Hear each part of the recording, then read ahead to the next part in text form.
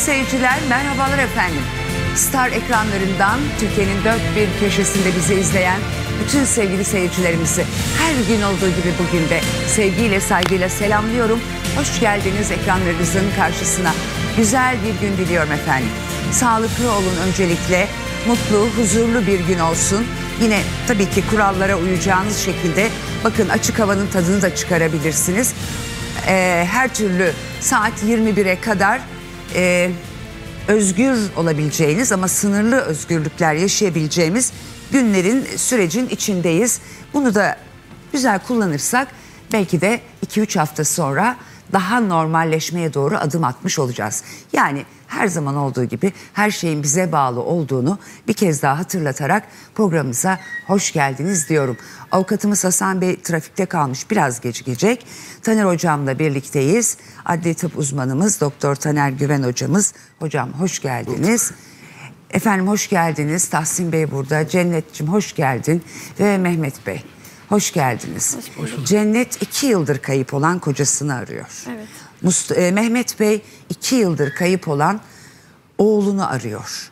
Yaşıyor mu yaşamıyor mu sorularının cevaplarını arıyorlar efendim. Fakat oğulları Mustafa'nın bir de Mustafa'ydı Mustafa'nın Mustafa, e, iki e, evliliği var. Yani biri resmi nikahlı eşi Cennet, diğeri Suriyeli bir kadınla dini nikahla iki çocuk dünyaya getirdiği bir beraberliği var. Yani bu dosyada bakmamız gereken çok fazla yön olacak ama önce e, konuya şöyle bir özetle giriş yapacağız efendim. Yani kısacası Mustafa Özboyraz'ı arayacağız. 38 yaşındaki Mustafa Özboyraz'dan 27 Mart 2019 yılından bu yana haber alınamıyor. İki yıl önce sırra kadem basan Mustafa'nın başına bir şey mi geldi? Oğlumun hayatından endişe ediyorum. Hiçbir yerden bir haber alamıyoruz. Mustafa nereye gitti? Benim çocuğum ailesine bağlı, annesini her gün arayan, her gün iki saatte biri arayan bir kişi. İş arkadaşları Mustafa'nın yerini biliyor mu? Çalıştığı arkadaşları çelişkili ifade veriyorlar. Ee, İstanbul'da diyorlar, Yunanistan'da diyorlar. Ee, gelecek diyorlar, Mustafa gelecek diyorlar. Mustafa Özboyraz nerede? Birazdan. Evet, şimdi e, Mehmet Bey, Cennet önce geçmiş olsun demek Teşekkür istiyorum ederim, tabii ki sizlere. Ve buraya gelen her konuk gibi sizi de inşallah yüzü gülerek göndermek İnşallah istiyorum. Allah razı olsun. Ee, Teşekkür ederiz. Allah'ın izniyle. İnşallah. İnşallah. Şimdi efendim olay 27 Mart 2019'da yaşanıyor. Olay yeri Fethiye. Ama aslında ailenin hiçbirinin Fethiye ile bir alakası yok iş dışında. Çünkü Kayseri'de yaşıyorlardı. Cennet Özboyraz, karısı, e, kocası Mustafa ile birlikte. Mehmet Bey siz de mi Kayseri'de yaşıyorsunuz? Kayseri'de yaşıyoruz evet. Cennet kaç yıllık evlisiniz? On, şu an e, eşim yok. 15 yıl oldu. Yani eşinin kaybını da tabii ki Evet, sayarak evet 15 sayarsak, yıldır evet, 15 resmi nikahla evlisiniz. Evet. Fakat e, bir gün Mustafa ki Mustafa 38 yaşında e, değil mi? 37. 37 yaşında. Bir gün Mustafa e, Suriyeli bir kadını Lina'yı sana kuma olarak eve mi getiriyor? Yok, Nasıl oldu? Onlar yani kendi imam nikah falan olmuş ama ben bilmiyordum. Biraz yüksek sesle lütfen. Şey, onlar imam nikahı olmuş ama ben bilmiyordum. Ben sonradan öğrendim. Nasıl öğrendin? Eşim kendi söyledi. Peki sen öğrendiğinde onlar bir hayat kurmuş başka bir evde mi yaşıyorlardı? Yok yani şey orasını bilmiyorum ama bana evlendiğini söylemişti. Evlendiğini söyledi. Ben o zaman şeyde en küçük oğluma hamileydim. Kaç çocuğunuz var? Şu an 3. Kaç yaşlarındalar? Ee, en büyük kızım 13-12 yaşında. Ortancıl oğlum 9 yaşında. En küçüğüm de 8 7 yaşında. 7 yaşında. Evet. Ee, sen en küçüğe hamileydin. Evet. Yani bundan 7 sene önce e, sana kocan bir gün geldi. Dedi ki ben Suriyeli bir kadınla dini nikah kıydım dedi. Evet. Sonra kadını eve mi getirdi? İlk zaman getirmedi. İlk zaman şeyde is- istemedim ben. Sonra şeyde bayağı bir sonra getirdi. Nasıl kabullendin Cennet? Ya eşim biraz e, maddi yönden biraz sıkıntı vardı. Çocuklarına sürekli babalarını görmek istiyordu. Dışarıda eşim dışarıda çalıştığı için sürekli yanımızda kalamıyordu.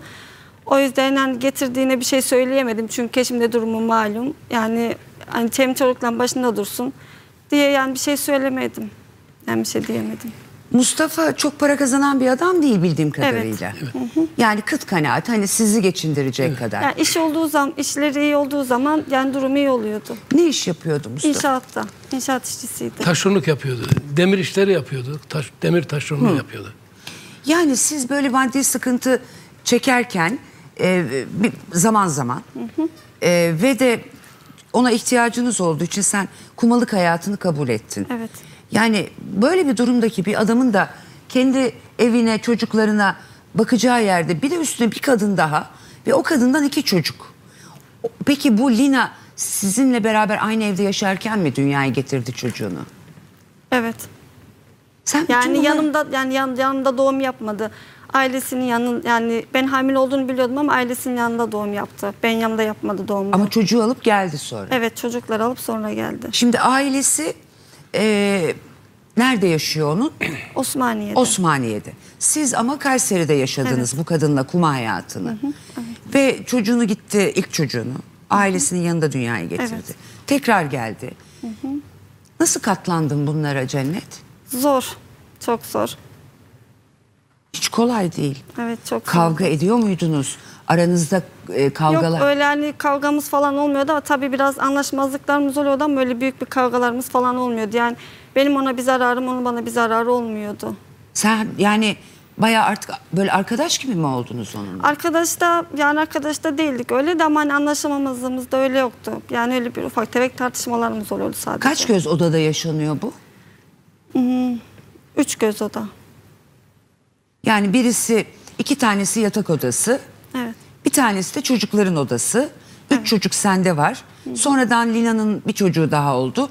Beş çocuklu bir e, iki e, eşli bir hayat sürmeye başladı Mustafa. Evet ama uzun süreli olmadı çünkü biz anlaşamadık son zamanlarda. O yüzden hani sonra beraber olmadık. Yani başka bir şey, başka bir yere taşındı. Yani götürdü onu. Mustafa Lina'yı, Suriyeli Lina'yı alıp Osmaniye'ye ailesinin yanına mı götürdü? Yok Nevşehir'de.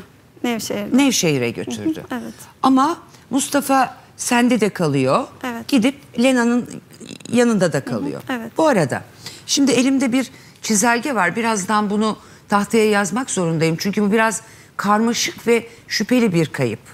Ee, Mehmet Bey iki yıl olmuş. Önce size şunu sorayım. Sizin oğlunuzun çalışmak için gittiği Fethiye var. Son iki seferinde. Ee, ikinci seferde zaten bir daha dönmüyor. Dönmüyor evet. Ve ondan sonra siz zaten oğlunuzla ilgili öldü mü, öldürüldü mü, kaçtı mı, intihar mı etti? Ki şu, size şunu söyleyeyim. Bu e, dosya bize geldiğinde araştırmaya tabii ki hemen başladık ve aldığımız harici bilgilere göre Mustafa yurt dışına falan kaçmadı. Yani bu net. Evet. Bu net emniyetin gerçekten çok sıkı da çalışmışlar. E, Fethiye Emniyeti. Yani bir e, kayıp dosyasından daha fazlasını yapmışlar. Mustafa kaçmadı. Mustafa'ya ne oldu o zaman? Öldü mü öldürüldü mü? Babası kaybolduğunda Fethiye'de iş yaptığı yerde kaldığı bir otel var. Oraya gidiyor. Mustafa'nın aracı orada. O evet. O araç nasıl açıldı ve ne buldunuz içinde? Aracı e, benden önce kendiyle birlikte çalışan Halil Mustafa kaybolduktan sonra kaldıkları odadaki eşyalarını falan koyma bahanesiyle kilitli arabayı açıyor. E, sol camı düşükmüş arabanın. Orayı biliyormuş. Orada indiriyor aşağı. Kilitli arabayı açıyor. Mustafa'nın eşyalarını falan koyuyor. Bu Ensar ismi geçiyor. Ensar Hepsini tahtaya yazacağım Evet, birazdan. Ensar e, arıyor bu arada Halil'i. Diyor ki benim diyor e, ehliyetimden kimliğim var arabada onu da al diyor. Mustafa'nın arabasından onu da alıyorlar. E, Halil'in kardeşi de kayıp. Üvey kardeş. E, Deniz ismini çok duyacaksınız. Halil ile Deniz Türk. Ve e, Mustafa ile birlikte iş yapan e, kişilerden ikisi. Üvey kardeşler. Anne bir, baba ayrı. Evet. aynen. Bu arada Ensar ismini de duyacaksınız. Ensar da yine birlikte Fethiye'ye iş için gittikleri ama bir taraftan bu Suriyeli karısı Lena, Lina'nın kuzeni ya Evet. da yeğeni. O Suriyeli. Evet. Doğru mu? Teyze çocukları. Teyze çocukları. Teyze çocukları. Ee, şimdi evet arabayı siz gittiniz. Meğerse birlikte gittiği Halil size haber vermedi daha oğlunuz Haber vermedi diye. evet. Kendi başına arabayı açıyor. Açıyor, evet. Odasına giriyor. Eşyaların Eşyalarını alıyor. He. Evet. Neyi varsa yani gizli saklı bilmiyoruz onları. Sadece e, eşyaların arasında oğlumun Hasan bir tane cüzdanını buldum. Eşyaların arasında cüzdanını buldum. Cüzdan ıslaktı. Islak olduğunu görünce biraz içime şüphe düştü. E, cüzdanına baktım kimliği falan hiçbir şey yok. Herhangi bir eski kullandığı kartlar falan. E, bazen zor durumda kalırım diye bir köşeye para saklardı. Bir köşeye bir 100 lira kıstırmış. O da ıslanmış zaten. Diğer ne varsa bilmiyorum artık. Babalar günahları boyuna ne oldu nasıl oldu. Eşyalarını kendi elleriyle arabanın kilitli kapıyı açıp koyuyorlar içine. Şimdi 27 Mart 2019'a gidelim. Yani iki yıl aşkın bir süre oldu. Siz bu aramayı arabada kaç Mart'ta yaptınız? 27'sinde kaybolmuş. Ee, 27 Mart'ta Fethiye'ye gitmiş. 4 gün sonra Evet, dört gün. kaybolmuş. Biz ona e, bir e, e, Nisan diyelim. Evet, 1 Nisan Nisan. itibariyle kayboldu Kayboldu. 2019. Siz kaç gün sonra gittiniz bu ara- araba operasyonunu yapmaya? Ee, arabaya ben Halil'in Halil'in geldiğini duydum. Halil'le görüştüm. Nevşehir'e gittim. Yok daha, daha sonra görüştüm Halil'le şimdi. Yanlış olmasın. Arabayı Halil'le telefonla görüştük herhalde önce. Arabanın İstanbul apartının önünde olduğunu söyledi. Fethiye'de çalıştığı bir semt. Bir apartın önünde. Evet apartın evet. önünde. Orada olduğunu söyledi. Ben de oğlumu yanıma aldım. Arabayı getirmeye gittim büyük oğlumu. Onunla birlikte gittik. İşte arabanın şu önce otelciler bize vermek istemedi. Tabii ki doğal olarak haklıdırlar. Ben de polisleri aradım. Polis kanalıyla arabayı aldım. Tekrar otel kamera kayıtlarına baktık. Memurlarla Orada en son ne zaman görünüyor Mustafa? Otel kayıtlarında. Valla onun tarihini ben bakamadım. Biraz gözlüğüm falan da yok. Gözüm kaçırıyordu. Üç kişi çıktığını gösteriyor. Halil, Deniz, Mustafa. Otelden ayrıldıklarını gösteriyor. Ne yapıyorlar? Ne yöne gidiyorlar? Mustafa'nın arabasına biniyorlar mı? Yok arabaya falan binmiyorlar. Yürü, yayan Yürüyerek gidiyorlar. gidiyorlar. Yayan çıkıyorlar. Ee, otelden çıkıyorlar. O son çıkışları yani daha doğrusu Mustafa'nın ve e, Mustafa'nın son çıkışı. Evet, son çıkışı. Bir daha onun otele geldiğini gösteren kamera kayıtları Yok. yok. Yok. Ee, o tarihi hatırlamıyorsunuz ama. Hatırlamıyorum evet. Yani 27 Mart'ta gitmiş, 4 gün sonra kaybolmuş. 1 Nisan diye, diye yuvarlak biz bunu öğreniriz net tarihini. Ben 12-13 gün sonra gittim tahmini. Çünkü orada bana bir e, Ölüdeniz'de bu olan birini test etmemi için beni aradılar memurlar akşamdan.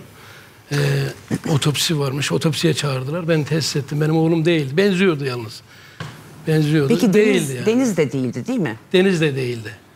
Yani oğlumun suratında ben vardı. Bir de karnımda ameliyat izi olduğu için.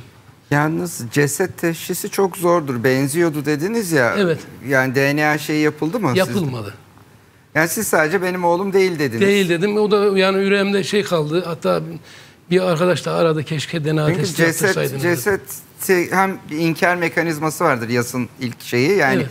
Benim oğlum olamaz diye bir inkar duygusu olur içinizde. Hem de hakikaten farklı gözüküyor Evet, biraz evet hayattaki farklı gözüküyor. Ceset tanınmayacak halde yani. Kolları falan şöyle şişmiş. Bir DNA 13 gün denizde gerekiyor. kalmış. 13 gün sonra atmış dışarıya deniz. Oo, o hayatta tanınmaz ki 13 gün sonra çok çürümüştür o. Sadece o cesediyle ilgilenen oradaki e, şahsa ihtiyar vardı bir tane. Ona sordum. Karında dedim şey izi var mıydı? Ameliyat izi var mıydı dedim. Yok dedi. Senin oğlun değil dedi bana. Ee, ne ameliyatı olmuştu? Mide ameliyat olmuştu. Ve bu, böyle bir iz mi vardı? E, mide ameliyatı Hocam oldu. 13 gün 15 gün yani 13 gün sonra denizden atmış ama belki 15 gün neyse o izde e, kalır İz mıydı? Kalır ama tecrübesiz bir göz kaçırabilir. Çünkü ileri derecede şişecek, rengi tamamen değişecek, en üst deri tabakası ayrılacak falan sıkıntılı yani. Aynen hocam sizin söylediğiniz gibi ben biraz da şey yaptım üzüldüm. Tam da bakamadım da yani. Peki biz onu şöyle şu yolla öğrenmeye çalışırız. O tarihte size gösterilen cesedin e, bir sahibi çıktı mı? Mesela bu bir yol. Evet. Onu öğrenirsek eğer o Evet. cesedin bir sahibi çıktıysa içiniz rahat eder. O sizin evet, oğlunuz aynen. olmadığını öğrenirsiniz. Şunu da söyledi ya 13 gün denizde kalmıştı ceset dedi. Yani sizin oğlunuzun kaybından önceki bir boğulma olayıysa gene olmayabilir. Kaybolduğu dönemlerde zaten. yani o döneme denk dönemlerde geliyor. Yani şey 13 yapmış. gün önceki tarihle sizin oğlunuzun kaybolduğu tarih denk geliyor mu? Denk geliyor aşağı yukarı denk geliyor. Aşağı yukarı denk geliyor. Ben işte oğlum kaybolduktan 12 13 13 gün sonra veyahut da 14 gün sonra Anladım. Hemen hemen o oraya. tarihlere denk gelen bir kayıp. Peki bir şey soracağım. Ee, üzerinde kıyafet bir şey var mıydı teşhis etmeye çalıştığınız Yok cesedin? hiçbir kıyafet falan yok. Çıplaktı. Çıplaktı. Yani adli tıpta mı e, Herhalde sormuşlar? adli tıpta almışlar. Ya en azından bir iç çamaşırı bir şey olsaydı belki oradan teşhis Elbiselerinden edilebilirdi. falan tanırdık en azından giyiş, giysilerinden yoktu. Peki e, herhalde şey e, saçı yoktu Mustafa'nın. Teşhis ettiğiniz cesette bu dikkatini Saç biraz uzamıştı saç e, nasıl diyeyim şöyle 2-3 santim vardı saç. Gittiğinde kaybolduğunda saçı yoktu sıfırdı. 2-3 santim saç uzamıştı zaten kıvrışmış saçlar denizin dibinde kaldığından kum dolmuş aralarına falan. Peki detaylara geç yani girmeyelim. Ben sadece şunu öğrenmek istiyorum. Aslında saçlarını kazıtıyordu Mustafa ama Evet. bıraktığında şu bölümlerde saç olur muydu? Yoksa yok muydu hiç saçı? Son te- cesette mi gördüğüm şey Hayır. mi? Normal hayatta. He. Sizinki Yok, gibi miydi? Şu yanlarında saç var mıydı? Vardı, evet, saç Sadece vardı. burası mı saçı dökülmüştü? Bıraksa çıkar Saçı mıydı da- cennet? Kellik Evet, yok saçı saçında. vardı eşimin. Son halinde saçı yoktu. Ha saçı var. Saçı var, saçı var. Yani Kellik yok. uzamış olma ihtimali var o Evet, dönemde. var. Peki. Çünkü bazen hiç olmuyor. Ee, peki şimdi e, bu şüpheli kayıp olayında efendim biraz e, kafanız karışmasın diye daha net görebilin diye bir e, buraya soy ba- ağacı çizeceğim. Şimdi Mustafa e, kaybımız biliyorsunuz. Öz Boyraz. E, 27 Mart 2019'da Mustafa, evet. Mustafa Özboyraz. Şimdi 27 Mart 2019'da 27.03 2019'da çalışmak için Fethiye'ye gitti. Fakat gittikten diyorlar 4-5 gün sonra artık oğlumuz kayıptı. Hiçbir Evet. şekilde ulaşamadık. Evet. Biz bunu yetkililerden e, tam olarak ya da e, daha bir detaylı öğrendiğimizde bunun size cevabını vereceğiz ama hadi biz buraya 01 04 e, 2019 diyelim. Böylece tam iki yıllık bir kayıptan söz ediyoruz. İki yılı aşkın bir kayıptan. Şimdi Mustafa'nın e, iki tane eşi var. Bir tanesi yayınımızdaki resmi nikahlı iki tane eşi var demek bana yakışmadı. İki Bir tane eşi, eşi bir yok. metresi var belki. Ha, bir e, nikahlı karısı e, yani medeni kanunumuza uygun olarak bir de dini nikah kıyarak e, birlikte yaşadığı bir Suriyeli kadın. Dolayısıyla Cennet şu anda stüdyomuzdaki Cennet Mustafa'nın resmi nikahlı karısı. Üç tane de çocukları var. Nisa Nur şu anda 13 yaşında. Ee, Ramazan Ramazan şu anda 9 yaşında ve Hilal de 7 yaşında dedin değil mi? Bilal. Bilal. Bilal. Bilal. Bilal Evet. evet. Ha, Bilal. burada Hilal yazmış ben. Bilal erkek çocuğunuz var ve 7 yaşında. Evet. 7 yaşında. Şimdi 7 yaşındaki çocuğuna hamileyken Cennet işte Mustafa bir gün geliyor diyor ki ben dini nikahla Suriyeli Lina'yla beraberim diyor. Ona bir dini nikah kıydım diyor ve e, bir süre sonra da zaten eve kuma olarak getiriyor. Lina'dan da Mustafa'nın Aliye şu anda 3 yaşında. Bir de Yasemin var 4 yaşında. Yani e, Yasemin 3 yaşında, Aliye 4 yaşında. Aliye 4, Yasemin 3 yaşında. Birer yıl arayla iki kız çocuğu dünyaya getirdi Suriyeli e, Lina. Ve bir süre sonra da artık kumalar anlaşamamaya başlayınca Mustafa onu aldı e, Nevşehir'de yaşayan ailesinin yanına götürdü. Ama tabii hayatından çıkarmadı onu değil mi? Evet Ne çıkıyor. yapıyordu? Mesela ayın kaç gününü sizinle çocuklarla, kaç gününü Lina ile ve çocuklarıyla geçiriyordu? Belirsiz yani mes- ya 3-4 günde bir geliyordu ya haftada bir gün. Yani işinin durumuna göreydi. Ee, siz Kayseri'desiniz, onlar Nevşehir'de. Evet. Yani bir, bir buçuk saatlik mi ne kadar? Bir saat Bir falan saat çekiyor. falan. 80 Bir saatlik bir yol. 80 kilometre falan. Ee, siz Mehmet Bey oğlunuzun bu çifte yaşantısına kızdınız mı? Kızıyor muydunuz ona? Kızdım ama benim bir sene sonra haberim oldu. Nasıl bir sene? Bana duyurmadılar işte. Birlikte yaşamışlar. İşte sonradan geldikten sonra haberim oldu. Siz nerede yaşıyordunuz? Kayseri'deydim ben. E onlar da Kayseri. Bu da Kayseri'de. Hani Nila ile evlendikten e, nikah, ni- dini nikah yaptıktan bir sene sonra benim haberim oldu. Yani bir sene saklamış aslında. Sakladı. Cennetten de saklamış. Evet, cennetten de sakladı. Dolayısıyla e, artık eve getirdikten sonra sizin de haberiniz oldu. Ne yaptınız oğlunuza bu konuda? Kızdınız Tepki herhalde. gösterdik, kızdık. Ee, kabullenmedik yani. Fakat e, Nina hamile olduğunu söylemiş Mustafa'ya. Öyle deyince fazla üzerine gidemedik. Peki ikisi gelinizi seviyorsunuz değil mi Tabii ki Cennet'i? seviyorum. Evet. Kızlarımdan hiçbir farkı yok. Yani ikisi birlikte aynı evde biraz çok üzücü olmuş Cennet için değil mi? İşte zor durumda kaldılardı biraz. işleri bozuk. İki eve bakamamaya başladı. Evet, zor durumda kaldılar. Mustafa Bey, e, Cennet Hanım bebek beklerken gelip ben başkasıyla böyle böyle diye haber veriyor. Yani bu pek duyarlı, şefkatli bir adamın yapacağı bir iş değil tabii. Biraz sert bir yanı var herhalde. Hocam sert değil. Bu yanında Suriyeliler çalışıyordu. Bunun yedi kişi çalışıyorlardı.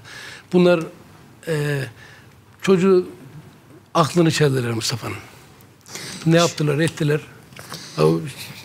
Şimdi ikinci hanımın Daha önce evlenmiş mi?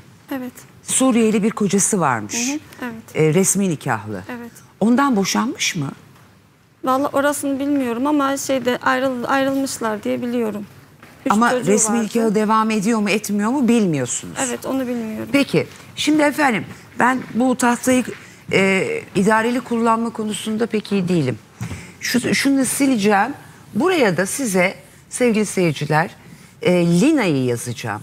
Lina kim ve Mustafa kimlerle bu Fethiye işini yapıyordu? Şimdi e, Lina Suriyeli dediğim gibi Suriyeli bir kadın. Eşi varmış ayrılmış mı onu bilmiyoruz. E, Lina ile Semira iki kardeş. Ee,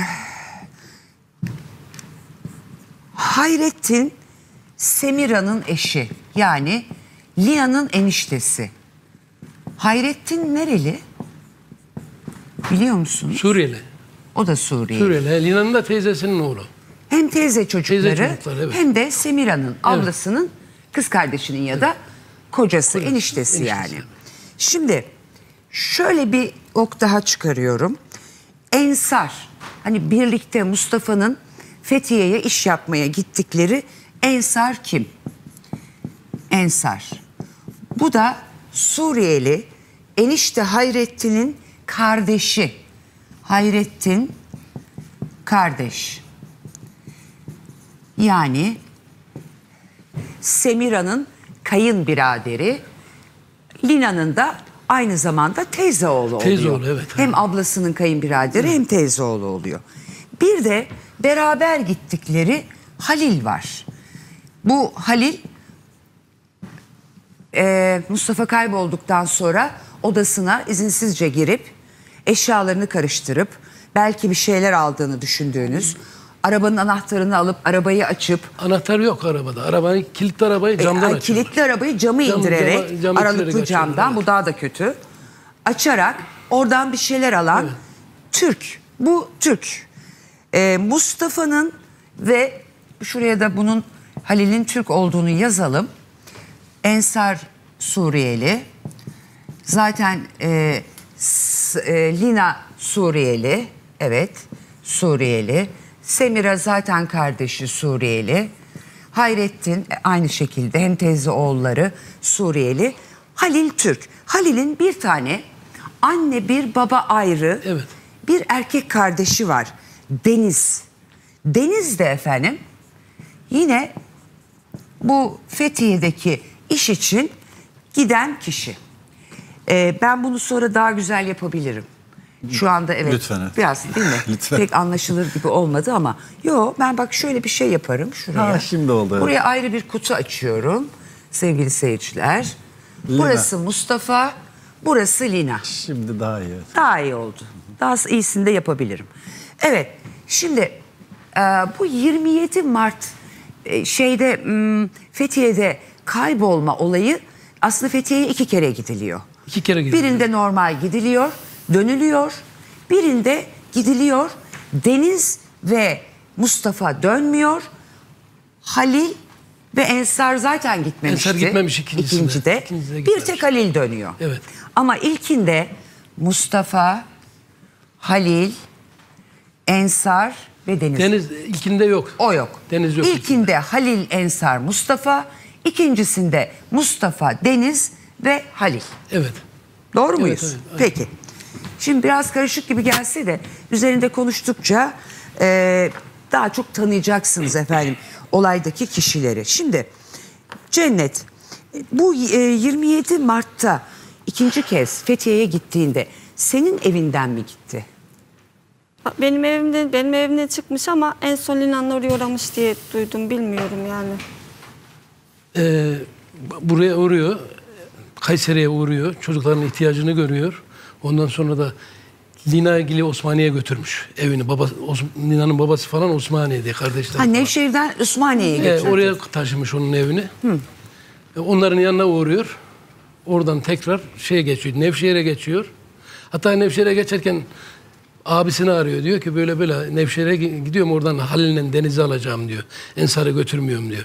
Abisi de diyor Ensar'dan zaten hoşlanmıyordu o da hoşlan. Deniz diyor yazık gariban Deniz'i götür diyor. Çalışsın diyor yanında diyor. Deniz, Ensar, Hal- e, Ensar yok. Halil, Deniz, Mustafa. Üçü gidiyorlar. Ensar'dan niye hoşlanmıyorlar? Karısının İşte o yani işini- nikahlı, dini nikahla beraber yaşadığı kadının aslında teyzesinin oğlu. Bu Fethiye'de işini yaptıkları adam istemiyor Ensar'ı. Getirme diyor. Ensar orada acaba e, bir şeyler mi yaptı? Bilemiyoruz işte. Ensar'ı getirme diyor. O da o yüzden getirmiyor. Ensar da e, Ensar'ı getirme deyince Ensar diyor e, ben onu diyor bir yerlere şikayet edeceğim diyor. Dinayı tehdit ediyor. Onu diyor ömür boyu diyor göremeyeceksiniz diyor. Ben onu diyor bir yerlere şikayet Mustafa'yı. edeceğim. Mustafa için evet. Ne onu diyor ömür boyu göremeyeceksiniz diyor. Beni götürmedi diyor. Ondan sonra e, özür dilerim ben biraz duygulanıyorum. Orada kalan e, otelde kalan bir arkadaşı varmış Ensar'ın bayan arkadaşı. Kim olduğunu bilmiyorum yabancı uyrukluymuş. Fethiye'de. O, he, onu arıyor ona şikayet ediyor işte ne diyorsa artık birilerine şikayet ediyor. Bunlar denize açıldıktan sonra geri dönmüyorlar. Dönüyorlarsa da ya onlara yakalanıyorlar birilerinin eline düşüyorlar. Denize açılmak Şimdi derken evet oraya geleceğiz. Hocam şimdi e, şunu anlıyoruz. İlk gidişlerinde bu bir iş ya. Tabii herkes para kazanacak. Affedersiniz ben geç geldiğim için ne işi için gidiyorlar da? Neydi iş? İş Bunlar neydi? inşaat işi yapıyorlar. İnşaat işi. İnşaat işi yapıyorlar. Bana dedi giderken bana uğradı. Ee, Yani kalfalar mı yoksa böyle? Kalfa bu. Ka- bunlar kalfa, mı? kalfa. Benim oğlum kalfalık yapıyordu. Birinin orada inşaatı var. O inşaatın bir şey. Ee, bir- villa aldım dedi. Komple aldım dedi. Anahtar teslimi villa aldım baba dedi. Anahtar teslimi aldıysan para kazanın oğlum dedim. Dikkat et aman dedim yanlış şunuş işlere bulaşma dedim. Hakkımı helal etmem dedim giderken de. Niye yanlış yanlış işlere bulaşma diye yanındaki? Ensar pek tekin bir insan değil. Öyle mi? Evet daha önceden Mustafa'yı yanlış yönlendirmeye falan çalışmış. Hangi Abisi konuda? falan kızmış. Vallahi bilmiyorum işte insan kaçakçılığı olabilir mi? olabilir. O yapıyormuş Ensar. Mustafa yanıma gel demiş. Mustafa abisine demiş böyle böyle diyor demiş. Çok para var demiş. Abisi kesinlikle demiş bulaşma demiş. Bodrum'da kalmış daha önce o Ensar. Gitmedi Mustafa yanına. Sonradan nasıl etti? Aklını çocuk zor durumda kaldıydı. Ee, elindeki avucundaki parasını pulunu yedi. O hastane işi falan yaptı. Parası falan vardı, arabası vardı. Son zaman hepsini eritti. Zor Peki durumda kaldı. şimdi e, Fethiye'ye ilk gidişte herkes para kazanacak ya. Ensar yani Suriyeli Lina'nın teyze oğlu Ensar, e, Mustafa'nın Türk arkadaşı Halil ve e, o zaman Deniz gitmedi. İlk gitmedi Deniz. İlk gitmedi. Evet, gitmedi. Mustafa üçü birlikte gittiler. Kaç gün kaldılar Fethiye'de? İlk gittiklerine mi? Evet. Bir ay falan kaldılar. Bir ay orada kaldılar. çalıştılar, Bir ay o kaldılar. inşaatta. Evet. Bu arada telefonla görüşüyor muydunuz Cennet? Evet, hı hı. Siz de görüşüyordunuz. Görüşüyorduk, evet, görüşüyorduk. Hiçbir problem yok. Yoktu, evet. Arıyor, soruyor. ihtiyaçlarınızı görüp gitti yine. Bir ay sonra geldi.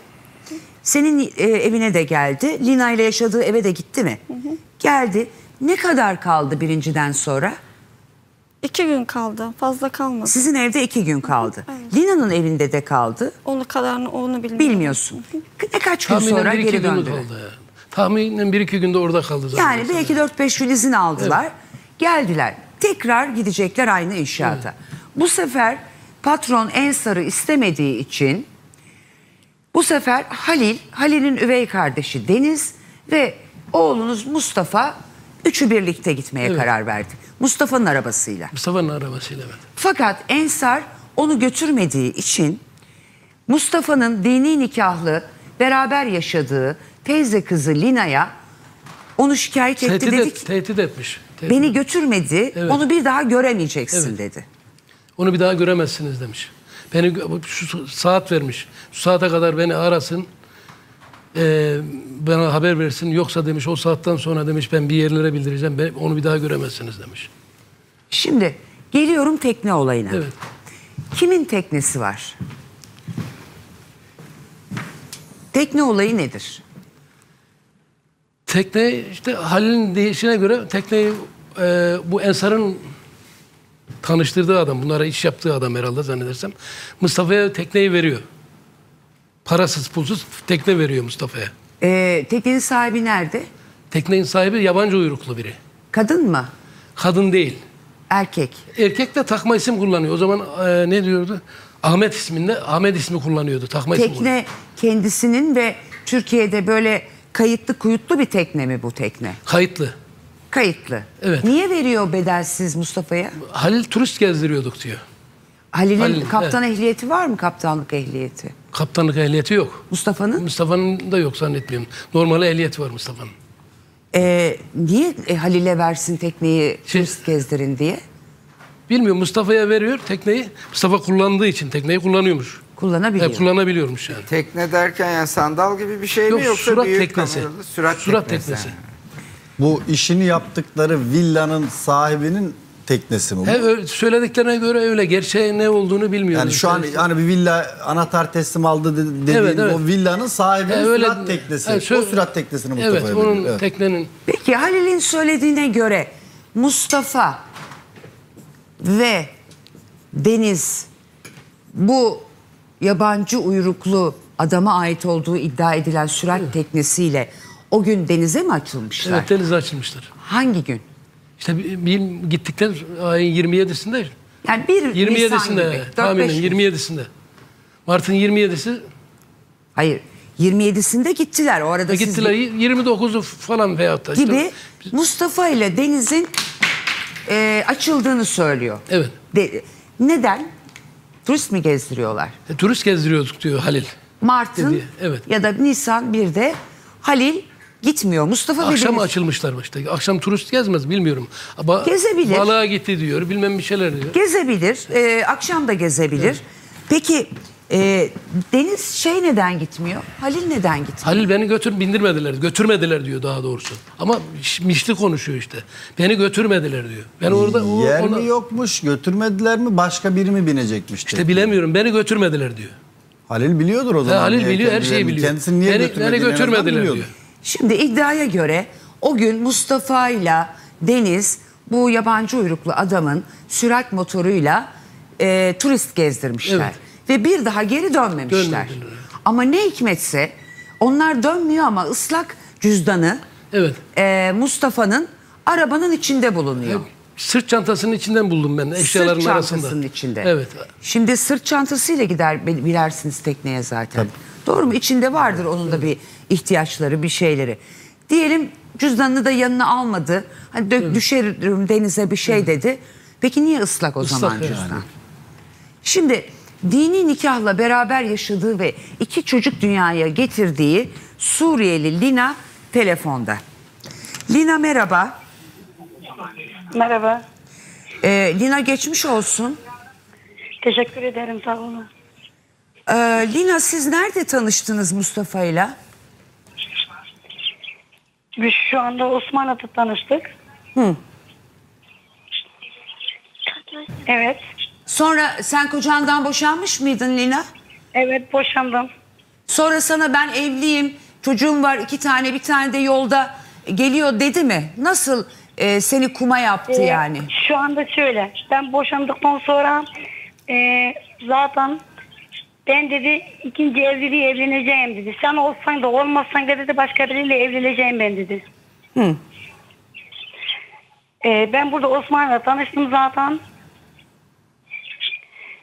Tabii ondan boşanmayacaktım da. Evliydim. Hı. Biz Kayseri'ye taşındık. Önceki kocamla. E, Lina televizyonun sesini kapatır mısın? Aradayım. Annem gibi şu anda yanımdalar.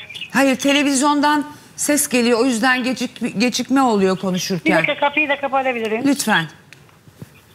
Tamam buyurun.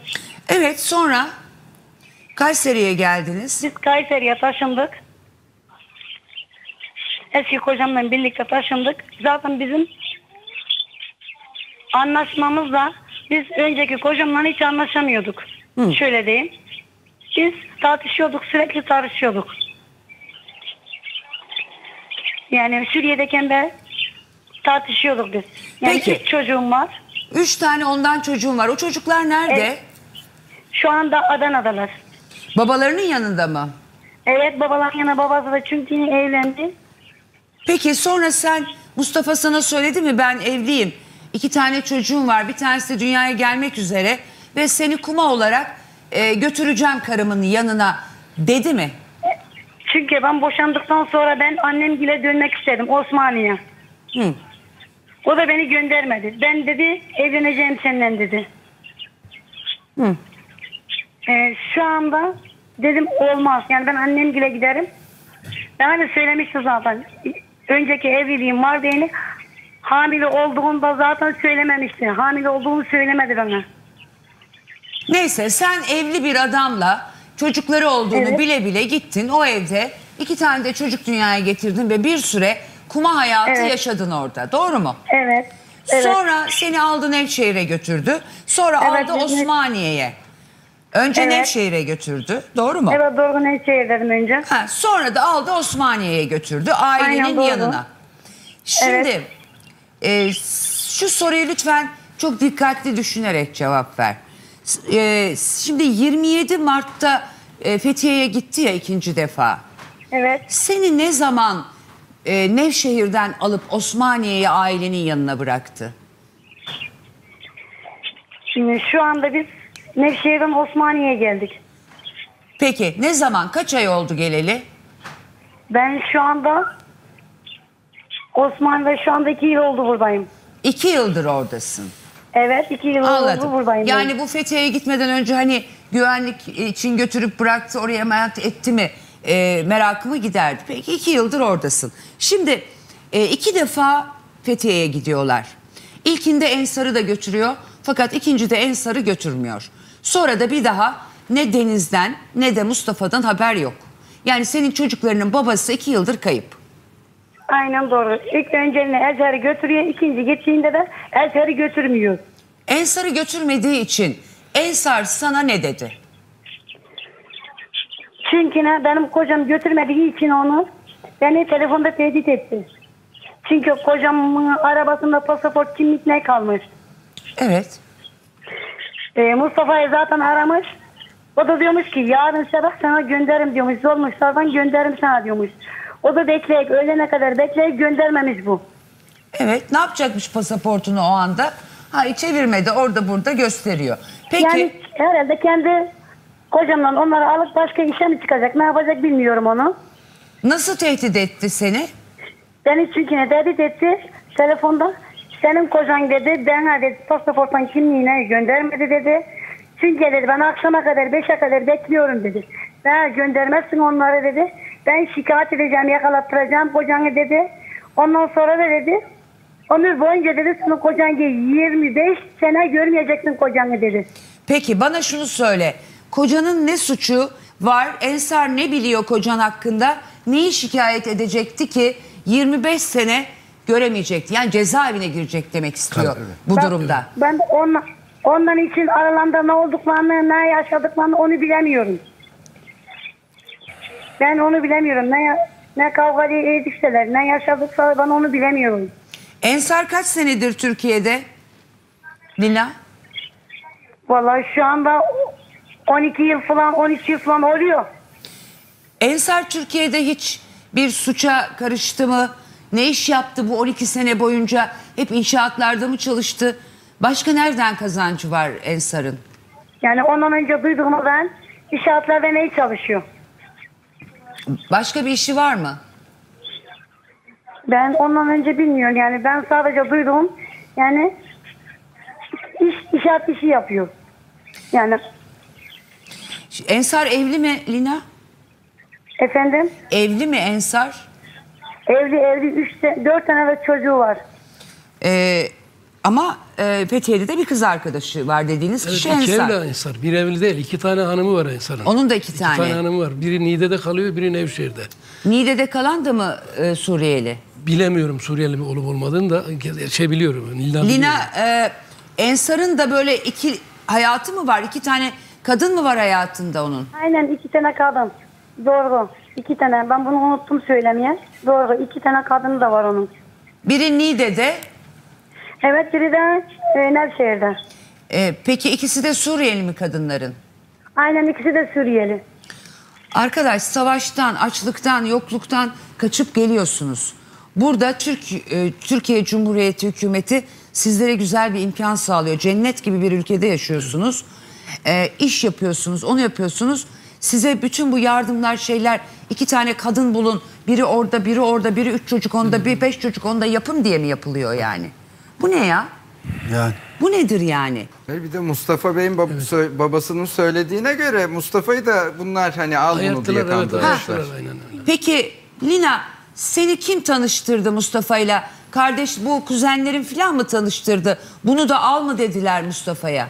Yok ondan al demediler bana. Zaten onlar benim e, ablamla iniştem. Nevşe, Kayseri'de oturdukları için biz buradan Kayseri önceki kocamla gittik ya. Evet. Biz zaten orada Mustafa'dan hiçbir alaka yok yani. Bizim boşanmamız alaka yok Mustafa'nın. Zaten ben onu terk edip gidecektim yani. Hayır ben Suriye'den kocandan boşanmanın Mustafa ile alakası var demiyorum. Seni Mustafa'ya e, diyor ki Mehmet Bey siz bir söyleyin nasıl olmuş? Mustafa ile e, eniştesi tanıştırıyor Hayrettin. Hayrettin. Hayrettin Mustafa'nın yanında çalışıyorlar onlar. Evet. Zaten Nevşehir'de Baldızını Hayrettin alma diyor. Ensar bilmiyorum artık nerede. O sebep oluyor. Tanışmalarına sebep olan o kendisi de söylesin. E, Hayrettin enişten aynı zamanda teyzenin oğlu olan Hayrettin Bey tanıştırmış seni. Öyle mi Lina? zaten tanıştırdı nasıl yani tanıştırdı adam. Şu anda e, benim kocam da önceki kocam da Mustafa'nın yanında çalışıyordu. Önceki kocan da Mustafa- Mustafa'nın yanında çalışıyordu. Aynen Mustafa'nın yanında da çalışıyordu. Eniştem de çalışıyordu yanında. İlk geldiklerinde Bana o yüzden Mustafa'yı bildin yani. Hayrettin ne iş yapıyor enişten? E, eniştem inşaat içinde çalışıyor yine. Ee, sana ve çocuklara kim bakıyor Lina? E, eniştemin ya. Son iki senedir o mu bakıyor? Aynen. çocuklara Lina'nın çocuklarına mı? Yok. Biz ilgileniyoruz. O- Benim çocuklarım ama. He, Mustafa, Lina'nın çocuklarına biz ilgileniyoruz. Senin çocuklarına evet. Evet benim çocuklarıma kayınbabam gibi Allah razı olsun kendilerine onlar ilgileniyor bizden. Lina en son bu 27 Mart 2019'da e, Mustafa Ensar'ı da almadan e, Deniz ve Halil'le tekrar gidiyor ya ve 3-4 gün sonra da kayboluyor ya. Senin yanından mı gitti? Ne anlattı? Ne yapacağız dedi. Bir e, hatırlıyor musun o günü? Yolcu ettiğin günü. Tamam hatırlıyorum çünkü benim yanımdan gitti benim eşim. Ne yaptı? Ne anlattı? E, zaten yanıma geldi Osmaniye geldi. Benim iş, iş için dedi İstanbul'a ne çıkacak dedi. İstanbul'a mı? Evet İstanbul'a çıkacak diye söylemişti bana. Fethiye demedi mi sana? Önce Fethiye dedi. Fethiye'den sonra İstanbul'a iki gün sonra İstanbul'a çalışacağım dedi. Fethiye'den İstanbul'a geçecek dedi. Evet. E, kendi arabasından gidecekti zaten. E, o arada ben de söylemiştim. Zaten E, kimle birlikte çıkacaksın dedim. Halil'den denizden çıkacağım dedi. Peki Lina Hanım Fethiye'de çok para kazanıp İstanbul'da iş kuracağım demiş olmasın? Yok onu bilmiyorum onun arasını da. Yani Fethiye'de çok para kazanacağım falan demedi mi size? Yok onu demedi yani. Hiç o konu açılmadı bilmiyorum onu demedi yani. Lina bu e, Deniz'i ve Halil'i alacağım dedi. Ensar'ı almayacağım dedi. Almayacağım. Neden? Ezher'den arasından Neden? Ezher'den önceki gittiklerinde Ezher birlikteydi ya. Evet. Ondan sonra geldi Ezher'i birlikte götürmeyeceğim bir sefer dedi. Ben de sormuştum niye dedim götürmeyeceksin. Senin iş arkadaşın o dedim niye git götürmeyeceksin dedim. Ondan bir aramızda öyle tartışma ne çıktı dedi. Ama ne olduğunu söylemedi bana. Peki Ensar son iki yıldır ne yapıyor? Şu anda bilmiyorum. Bir ne, e, Nevşehir'den herhalde bilmiyorum. Onu da ben de zaten onlardan artık konuşmuyorum. Ensar iki yıldır pasaportunu eline geçirdi mi? O araçtan pasaportunu da aldı Halil Almış onun. Halil vermiş herhalde. Almış. Halil hepsini aldı. Yani aslında Halil'e haber verdi. Dedi ki benim pasaportum falan gelmedi. Halil e, cam şu kadar açık arabayı habersizce ve kayıp bir insanla ilgili dokunmazsınız bile o arabaya dokunmamanız lazım. Yani orada her türlü delil olabilir. Bir cinayet işlemiş ve o, onunla taşımış olabilirler. Bir kere her şeyden önce onun özel eşyalarıdır o. Sen Halil Bey tabii ki bunlar hep konuşulacak Halil Bey'le falan yüz yüze gelinecek de neden o gün kayıp olduğunuz daha haber vermemişti size? Kaybolduğunu mu? Mustafa'nın mı?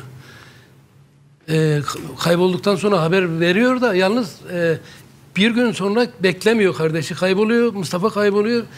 Antalya'da bir gün kalıyor. Şeyde. Fethiye'de Fethiye'de bir gelip gün kalıyor. geliyor. İkinci günü Antalya üzeri binip geliyor. Kayseri'ye. Kayseri'ye. evet. Yani Şey, bir gün Nevşehir'e. kalıyor. Ne kardeşini ne Mustafa'yı bir arama çabası yok. Yok. Başlarına bir şey mi geldi diye belki polise bir faydası olur, bilgi verir bir şey yapar. Bir gün kalıp geliyor. Evet.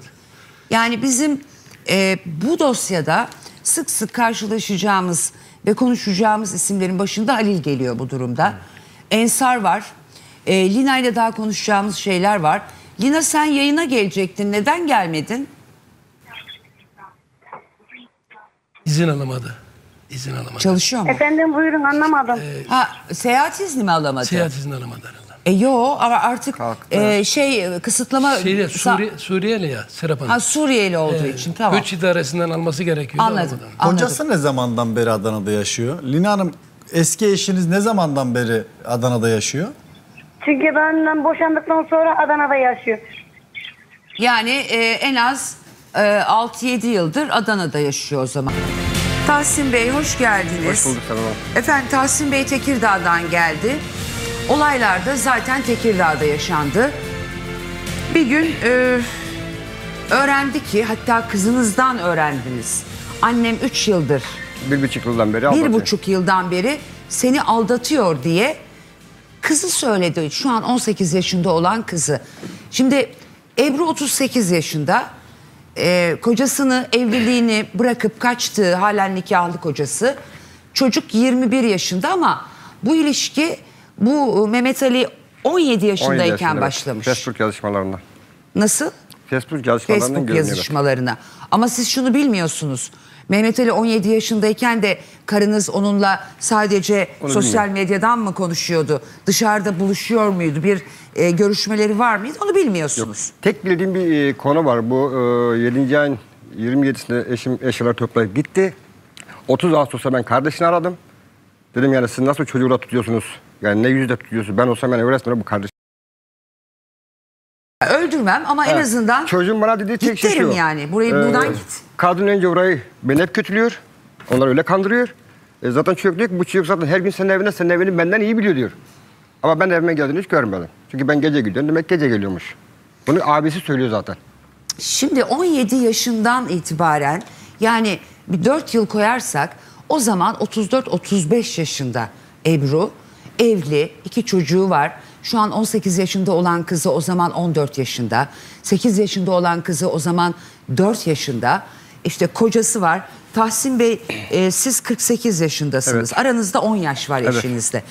E, kadınla erkek arasında yani yaşa da takılmıyoruz aslında ama şimdi 17 yaşında Mehmet Ali'nin in- önce sosyal medya üzerinden 35 yaşında bir kadın tarafından kendine aşık edilmesi mümkün mü değil mi? Çok Mümkün mü? Tabii ki çok mümkün. Peki hocam biz çocuk yaştaki birisine e, kafayı takmış erkeklere ve bu tür olayları yaşayan erkeklere pedofil diyoruz. Kadınlara ne diyoruz? Kadınlara da pedofil diyoruz. Öyle pedofil mi? cinsiyet belirtmez. Yani tüm pedofili olaylarının yüzde beşini kadınlar yapar zaten. Yani e, kadınların çocuk istismarı yapmayacağı sadece bir şehir efs- efsanesi kadınlar da yapar. Şimdi 17 yaşındayken ve 35 yaşındayken Ebru bu zavallı işte e, babası hayvancılıkla onu e, yetiştirmiş, bugünlere getirmiş. Sonra da İstanbul'a git oğlum bir iş güç peşinde koş demiş. Gelmiş 17 yaşında da sosyal medyadan Tekirdağ'da yaşayan, olgun, artık tecrübeli, hayat tecrübesi olan bir kadın tarafından o dönemde bence yani bence değil bilimsel olarak kandırılmış. İstismar edilmiş. Yani çocuk Ha. istismardır bunlar. Evet. 18 yaşın altındaki herkes çocuktur. 18 yaşındaki bir kişiyle bu tip bir ilişkiye giriyorsanız bunun da çocuk istismardır. Rolleri hemen bir değiştirelim. Yani Ebru'yu erkek, Mehmet'i de yani küçük 17 yaşındaki bir kız çocuğu yapalım. Algı nasıl değişti değil mi? Tabii, Yani 38 yaşındaki bir adam erkek 17 yaşındaki bir kız çocuğunu istismar etti. Hemen savcılar harekete geçer bu durumda. Ve şu an rolleri tekrar olağan seviyesine getirelim. Ebru 38 yaşında bir kadın, e, Mehmet de 17 yaşında bir erkek çocuğu. 21 şu anda 20. O zaman 17 idi ama. O zaman Ve 17 Biz tabii. o zamandan itibaren istismar edildiğini düşünüyoruz. Ve arada hiçbir fark yokken o 17 yaşındaki istismar olayıyla ilgili olarak bence bu kadının yargılanması lazım, soruşturulması lazım. Ne olursa olsun 17 yaşındaki bir çocuğu istismar etmiştir. Duygusal anlamda da olabilir bu. Ne olursa olsun. Çünkü ona o 17 yaşındaki çocuğa başka bir gözle bakmıştır Ebru. Bu arada 18 yaşına da geldi bu çocuk. İşte 4500 liralık telefon alınmış. Evet, Faturayı gördünüz. Kardeşi diye biliyorum ama en sonunda e, çözdük olayı çocuğu Ha, almış. Dedi ki kızımın sevgilisi dedi. Şimdi kızını da kullanmış oluyor bu durumda. Daha Kızı- kullanılan başka kişiler de var. bir de durumun utanılacak bir şey olduğunun farkında utanıyor ve söyleyemiyor. Söyleyemiyor. Ee, bu arada sizin iddialarınızı söylüyorum yine. Sizin kazancınızı siz olduğu gibi bırakıyormuşsunuz e, maaşınızı. Oradan biriktirdiği 15-20 bin lirayı yatağın altında buluyorsunuz. yakaladım, buldum ben. Daha sonra e, bu çocuk askere gidiyor. Çocuk ya. Askerlik çağı geliyor. Askere gidiyor. Yine iddiaya göre Ebru artık 37-38 yaşında kadın. e, asker yolu bekliyorum ben diyor. Bir ev dayayıp döşüyor. Hatta e, birlikte yaşadığınız evden Bir eşyalar. kısmı o tarafa bir kısmı bana geliyor ama e, sonuçta hepsi bir arada toplanıyor. Heh, siz ayrı evde yaşıyorsunuz Ben çünkü. şu anda hiçbir şeyim yok zaten. Ben bir aradan beri yerde Bütün yatıyordum. eşyalar oraya mı Komple gitti? bir bardak dahi kalmadı. Ee, Sadece çamaşır, elbiselerimi bırakalım. Asker yolu bekliyorum diyor. Askerliği süresince bu çocuğa her ay 300 lira, 350 lira gibi para, Para gönderiyor. yollanıyor, Ee, peki Ebru çalışan bir kadın mıydı? Yok. Sizin Hiç paranızla hiç gönderiyor. resmi çalışması yok. Yani benim e, 18 yılda yani ya 3 ay ya 4 ay. İlk evlerimde zaten çalışıyordu. Sonra çıkardım ben. yani, gerek duymadım. Şimdi Ebru 38 yaşında. Henüz evli, nikahlı. Kızı 18 yaşında, sevgilisi 21 yaşında. Bir de 8 yaşında kız çocuğu var. Ve bunların hepsi birlikte mi Şu yaşıyorlar? an bir beraberler. Peki Ebru'nun ailesinin yakınında mı yaşıyorlar? Ee, önce aileyi kandırmış beraberlerdi. Yani tam ev tutulmuştu Ne ama diye her gün- kandırıyor ya? yani hep beni Evlatlığı mı suçlayarak diyor, ne çocuğu diyor? akra, arkadaşının kardeşi diye gösteriyor. Benim gece konduyu kira veriyorlar. E, tabii ben oralara sefer müdahale edince hani bazı şeyleri sağa sola yaş sayınca e, sözüm buna bunlar fark ettiler. Pişmanlık duydular. Şimdi de ben, beni yanlarına aldılar. Yani benimle devamlı diyalog içindeler. Yani şimdi ben onlara... Ebru'nun ailesi. Ailesi şimdi Ebru suçluyor. Yani sen her konuda haklısın. Biz senin arkandayız. Hatta çocuk konu, küçük çocuk konusunda hani yaşlı yani belki bakamazsın ka- devlet böyle bir kararsa biz bakacağız diyorlar. Bir benim çocuk zaten oradan çıkmıyor. Ama onun ailesi de şunu teyit ediyor. Ebru, Suçlu. 38 yaşındaki Ebru, kocasını hala nikahlı olduğu kocayı bıraktı. 21 yaşında ve 17 yaş itibariyle e, sosyal medya üzerinden telefon alarak, harçlık vererek, ev kurarak e, kandırdığı e, Mehmet Ali, 18 yaşındaki kızınız Helin ve diğer kızınızla beraber aynı evde Aynı yaşıyor. evdeler. Onlar onu doğruluyor mu? Doğruluyor, doğruluyor. Doğruluyor. Peki kızınız Helin telefondaymış. Helin'cim merhaba. Merhabalar. Ee, Helin bir buçuk senedir annem seni aldatıyor diye babanla bir konuşman olmuş.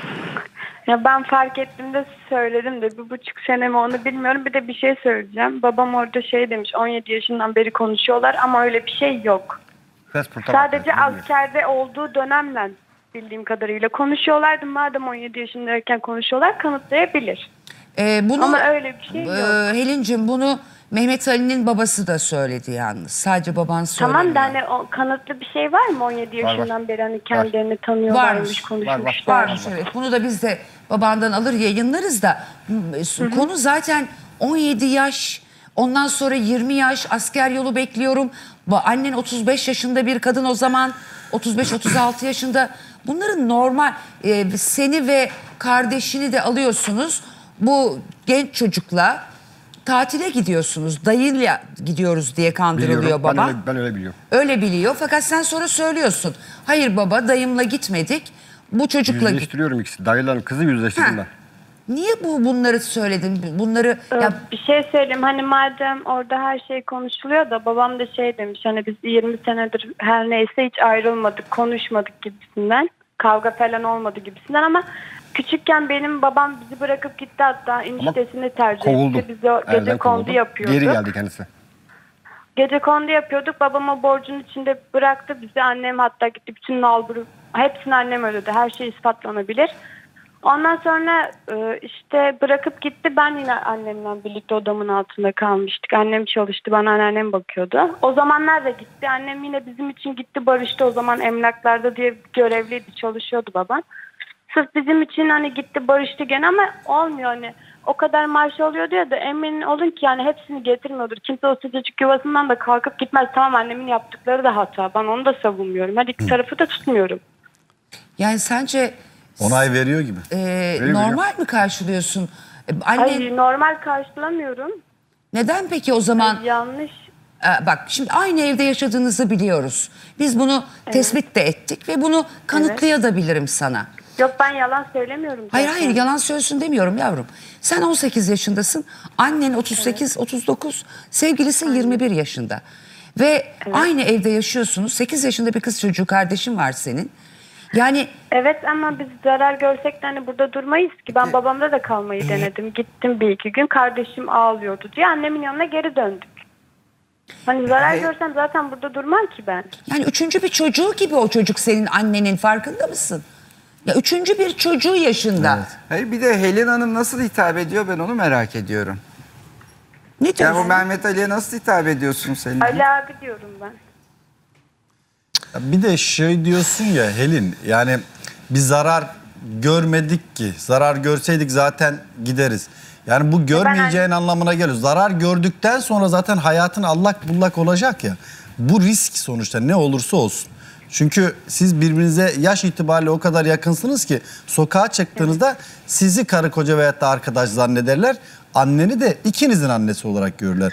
Yani zarar görmedik diyorsun ama bu her zaman senin için ve kardeşin için bir risk ne olursa olsun. Ee, bir de hani babanla ilgili bir şeyler anlatıyorsun ya zamanda bir şeyler olmuş. Annen gitmiş ama sizin için geri dönmüş. Ee, şu anda Ya- yaş- yaşanılanları yani babanın hak ettiğini düşünmüyorsun. Öyle mi düşündüğün için bunları anlatıyorsun? Hayır, hayır hak etti değil. Hani babam orada annemin hani her şeyini söylüyor ama kendi şeylerini söylemiyor. Hani bir şeyi ortaya döküyorsan kendi yaptığın E, hataları o zaman da o zaman da boşansaydı annen keşke doğru düzgün Tabii. boşansaydı. Ama o zaman ben küçüğüm diye hani belki de boşanmamak istememişti. Çünkü ben o zamanlar ağlıyordum hani. Küçük- Kavga ediyorlardı. Babam diye. eve Ben gelmiyordu. Hiçbir şey. Tabii. 2-3 gün eve gelmediği günleri hatırlıyorum. Pelin, Ben. Efendim. e, ben evden giderken kendi isteğimle mi gittim yoksa kovuldum mu kızım? Hangi ne zaman? Gece konudayken. mi? Evet. Ama sen konuk- kendin gittin, ben Emlak hatta- konuklarına Biz de küçükken o zaman top oynuyorduk. Hatta ben ağladım peşinden geldim. Doğru evet. Sen dedin ki ben bir daha gelmeyeceğim bu eve. Ama işte kovulduğum için gelmeyeceğim Siz dedim. kavga ettiğinizde ben bilmiyorum çünkü biz Ama bak dışarıda ben, top ben de oynuyorduk anlatıyorum bahçede. bak. Ben de anlatıyorum. Dayım beni kovdu. Ben emlaklara gittim. Sonra Baba Or- kovabilir ama illa kovdu diye bizden de vazgeçeceksin diye bir şey ben yok. sizden vazgeçmedim ki kızım. Ben annenle yine görüşüyordum her zaman gizli gizli. Ondan sonra 2-3 gün eve gelmiyordum. Biz Tamam bak. veriyorduk. emlak Hiçbir şey emlak konuklarına niye gittim. gittiniz? Annene bir Evet. şart koydum. Geleceksin ama ne senin ailenle ben görüşeceğim ne sen benim ailemle görüşeceksin. Sen istediğin zaman ailenle görüşeceksin. Ben istesem Ya öyle. aile de bırakılmaz ki ne kadar etsem- Ama aile bana zararlısa Aile- bırakmak dememiş. zorunda. Bırak dememiş. Ben Ben bırakıyorum. görüş demiş. Ben görüşmeyeceğim sen görüş Sen demiş. benimkiyle görüşme, ben seninkiyle görüşme. Anlaşmamız öyle oldu ama bir ay sonra cümbür cemaat. Ve oradan da kovuldum sonuçta. Aileler, adamlar benim zengin sitesi. Adamlar kafa Baba dinlendirmek için. gelmiyordun eve. Hasta oluyorduk. Annem bizi hastaneye götürüyordu. Bir şey oluyordu. Sana ulaşamıyorduk. Telefonun hep kapalıydı. E kızım, Şimdi tamam. Mehmet Ali, doğru, böyle Mehmet Ali size söylüyorsun. babalık mı yapıyor yani? Mehmet Ali Yine size hastaneye ben Hayır şu an. ben Hala ben babalık yap. Ben babamı yine şey yapmam. kim götürüyor Benim hastane? babam- Şu anda Annem bir şey- götürüyor. E o Her zaman da annen götürüyormuş. Ne, ne farkı var? Ne olur yani? bir gerekçe değil yani. Yani bunların gerekçesi. Sen şimdi 18 yaşındasın ya. 9 yaşında bir erkek çocuğuyla flört eder misin? Hayır. Aynı şey. Aynı şey. Annenin yaptığının hiçbir farkı yok. Tamam annemin yaptığını ben iyi bir şey olarak savunmuyorum. zaten. Savunmuyor Ama olsan benim yapabileceğim yanlarında bir şey yok. yanlarında durman aslında Ya ben ayrılamıyorum kardeşinle beraber Anneme orada daha durman annenin yaptıklarını meşru görmen ve kabullenmen anlamına görmek geliyor. değil Kendine ben zarar veriyor annem- orada. siz Toplum içerisinde de yani, zararlı görünüyor. Olmuyor. Ben babamla da kalmayı denedim ama olmuyor. Olmayan ne ama? Ha, söyle olmayan ne? Annemsiz yapamıyorum ben. E tamam Kardeşim doğru kızım aynı da şekilde. ama ortada bir Yapamıyor. sıkıntı var ya ben rahat Sensiz değilim de ama. Ben- yapamıyorum. Ben sana da şey demiyorum ama. Kızım ben rahat değilim ama şimdi o çocuğu ben yollarken size hiçbir şey dedim mi gelin bende kalın diye. Çünkü çocuk gitti ben rahatladım. zorla o çocuğu Ben de buraya isterim ki annem baksın. Ben niye Kendi anne... isteyerek geldi. Ben zaten seni annenden zorla ayırmak istemiyorum ki. Ama orası müsait değil. Yeri müsait değil size. Çorlu'da mı yaşıyorlar? Çorlu da annesinden, annemden... Ya Çorlu Aile ve Sosyal Hizmetler İl İlçe Müdürlüğü'nün Zaten kesinlikle devreye girmesi lazım. mahkememiz de var zaten. çünkü Mahkemeye devam ediyor. 8 yaşında bir kız çocuğu var ve e, bu istismar olayının dedi ya zarar görmedik. Bu bir risktir. Aynı çatı altında e, hem Helin hem de kız kardeşi bir risk altında. Ben Aile ve Sosyal var. Hizmetler Müdürlüğü'nün bu gayrimeşru ilişkiden kaynaklı bu çocukların zarar görme ihtimalini görmeleri için o eve bir ziyaret etmeleri gerekir. Hem de ivedi bir şekilde ziyaret etmeleri gerekir. Helin'i de kız çocuğunu da dinlemeleri lazım. Eğer gerçekten bir ismar durumunu hissederlerse hemen koruma altına almaları lazım. Bence biz bugün itibariyle e, Çorlu e, ilçe müdürlüğünü bir harekete geçirelim Serap Hanım. Tabii ki memnuniyetle. Bir de Ebru'cum e, şey e, dinliyorum, Helincim. Helin. Helincim e, sen mesela sen ve kardeşin annemsiz duramıyorum diyorsun çok haklısın. Yani anne her yaşta çok önemli. Annene Mehmet Ali ile bizim aramızda bir seçim yap anne desen ne yapar sence? Ya annem diyor ben her zaman sizi seçerim diyor. O olsa Yok, da olmasa da siz Seçmez. benim evladımsınız Peki, diyor. Baba geri getir o deme. İnsan çocuğundan vazgeçmez her ne olursa olsun. Peki e, şimdi e, Mehmet Ali'nin babası da çocuğundan vazgeçmeye niyetli değil. Çünkü Mehmet Ali hala çocuk yaşta sayılır. E, yet- şey, Tamam ama onların da söylediği hani hiçbir çocuğu onun yanında durmamış. Yani neden acaba? Yani bir tek Çocuğundan Ali abi vaz- değil ki. Ya önemli değil o. O Hepsi durmuş durmamış. gitmiş onun yanında. Tamam gidebilir ama hiçbir de 40 yaşındaki kadına gitmemiş 17 yaşından itibaren. Helincim lütfen Ha, tamam, evet. bir şeyi savunurken e, başka bir şeyi ona örnek gösterme. Ben başka bir şey söyleyeceğim. O da diyor ki benim oğlumun 40 yaşında kadınla ne işi var? Ben oğlumu aldım Tam geldim. haklı babası. Aldım, Ama geldim. hani kimse de zorla tutmuyor Bırakmadı sonuçta. diyor. Bak zorla tutmadı ama başka bazı etkenler var. Bunu belki şu anda Ben onları da anlayamayabilirsin. biliyorum ama öyle bir şey de yok. Hani bu tez kanıtlanabilir hani bu olaylar annemin Ee, başka ama bir öyle şey söyleyeceğim. yok. Gidiyor, Tabii. rahat bırakmıyor, sürekli arıyor ve ben hamileyim diye e, Mehmet Ama Ali öyle geri bir şey yok geliyor. işte. O Ya zaman bir yalan insan söylüyor. rahatsız oluyorsa açmaz ki telefonunu. Hani benim istemediğim biri Öyle gerçekten olmuyor arasa işte. açmam O da ben. çocuk yaşta ya. Yani daha 20'li yaşlarında o zaman. E, 17-18 yaşında işte gelmiş Anadolu'dan orada bir kadın ona böyle güzel laflar söylüyor bir şey. Yani 17 yaş itibariyle aslında kandırılmış bir erkek çocuğundan bahsediyoruz. Ama ben 17 yaşından beri konuştuklarına gerçekten inanmıyorum çünkü öyle bir şey yok. Bir buçuk sene ama önce, yok. şimdi askere gitti ya 20 yaşında. Bir buçuk sene önce. Asker döneminde konuşuyorlar. Kaç yaşındaydı? 20 yaşındaydı değil mi? Aynen o civarlar. O Ondan zaman normal mi buluyorsun? yani. 20 ve 38 40'a merdiven dayamış bir kadın. Annen Gene değil yanlış. o. O annen olmasın. Başka birinden bahsediyor olalım. Normal mi? Ben asker Hayır, yolu ben- bekliyorum. Eşim askerde diye. Ya yanlış. babanın paralarıyla telefon alınıyor ada oğlana.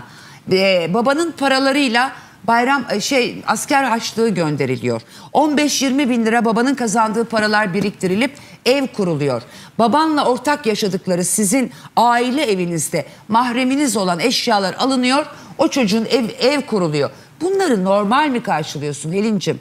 Eşyaları götürürken babam durakta bizi izliyordu zaten. Kendisi de biliyordu. Orada Çocuğun evine giden Helin. Eşyalarımı nerede? Helin- Hayır Helin- çocuğun demiyorum. Kendi evimizden Onu biliyorum zaten. O ayrı bir mesele. Çocuğun evine hani Sen- Hatice teyze denilen bir kadın vardı yani. Çorlu'da Tamam. garibanmış. Evet. A- O benden ona gidip denilen eşyalar Mehmet Ali'nin evine gidiyor. Ben bunları ispatladım zaten. Tamam ben senin diyorsun ya eşyalarımızı çaldı. Hayır, onu demiyor. Çalma konusu burada geçmedi. Hayır burada çalma konusu geçmedi. Burada çalma yok Helin.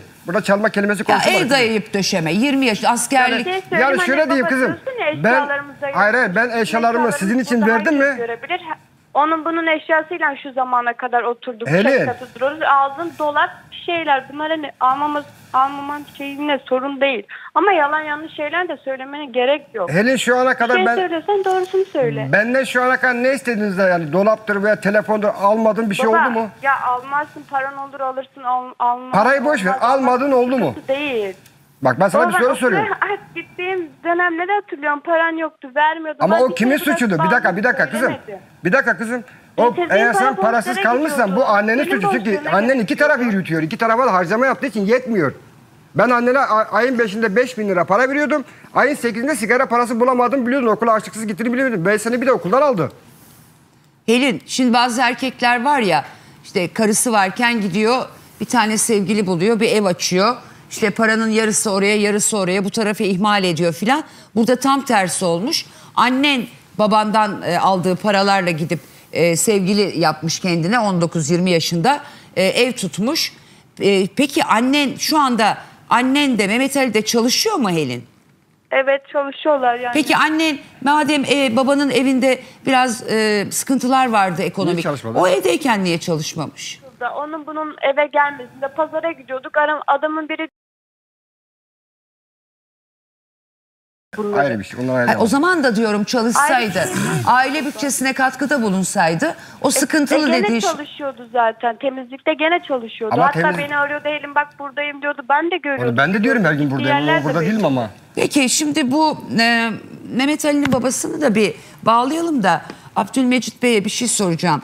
Bu hamileyim demiş ya annen. E, annen hamile gerçekten Mehmet Ali'den bir çocuk dünyaya getirdi mi?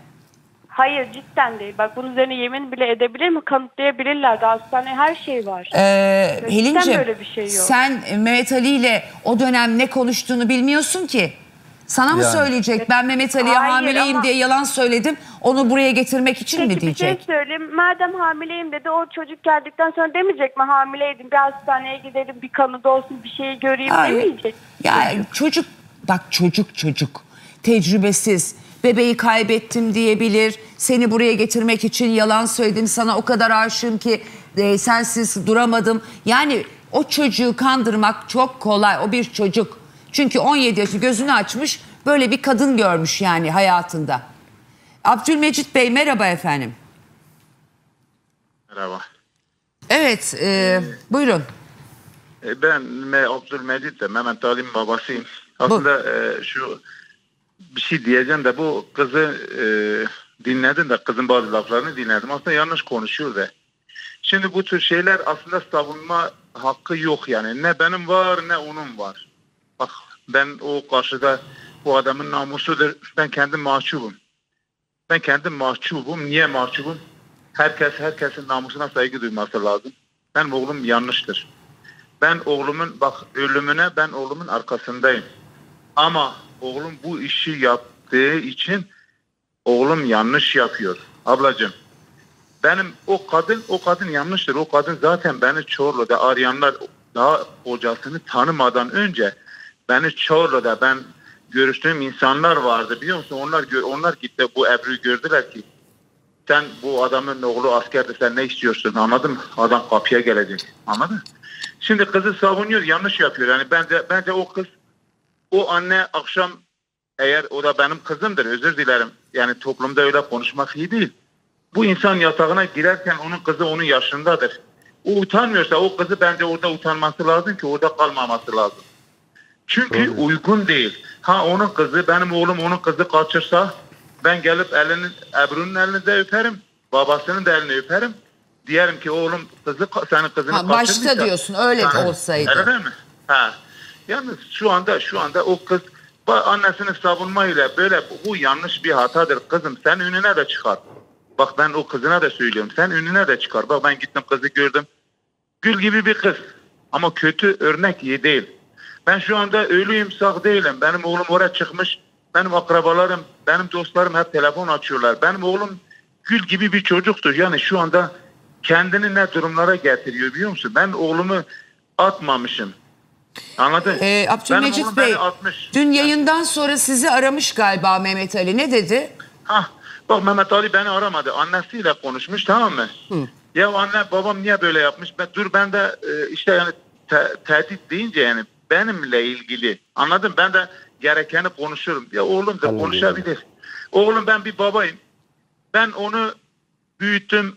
Siz de yani o bütün her şey bizi izleyenlere saygı beni öyle yapmamış. O da şu anda gelmiş 40 yaşındaki annesinin yaşındaki yani geçici bir il- ilişki veya geçici bir hayatla babasını eğer rezil ediyorsa o da onun sütüne kalmış bir şeydir. Ben bir şey demiyorum. Ama ben oğluma söylüyorum beni seviyorsa benim ben onun babasıyım yanıma gelir. Eğer beni sevmiyorsa yine de gitsin o kadında bir hayır olmaz. Gitsin bir tane kız alsın, ben eğer şerefli bir babaysa yardım edeceğim. Eğer ben şerefsiz isem hiç yardım etmeyeceğim. Gitsin yine de kendine bir ev yuva kursun. Bu çocuğun geleceği var. Bak benim geleceğim yok. Çünkü ben 46 yaşındayım. Ben ölüme doğru gidiyorum. O yaşamaya, ev kurmaya, o hayat kurmaya gidiyor. Şimdi bu kadın 40 yaşına gelmiş. Merdivene dayanmış orasına. Bu, bu bununla bir hayat olmaz. Bu 10 sene sonra bu Ha şu anda bir de o kızı beni tanıyor. Gittim yanına. Onun da dedesinin yanında, amcaların yanında, ben, şey dayıların yanında hepsine gittim, konuştum. Kız da oradaydı. Yani ben kendi kendimde utandım. Niye utandım biliyor musun? Ama o kadın utanmadı. Çünkü niye utandım? Çünkü benim oğlum kızın yaşındadır. Keşke keşke onun kızını kaçırıp getirseydi. Şu anda senin gibi bir abla sizin yani vasıtayla giderdim yine o adamın elini de öperdim. Yine de diyerdim biz kısım olduk, akraba olduk. Olabilir bunlar gençtir. Ama ben şu anda ne genç diyebilirim.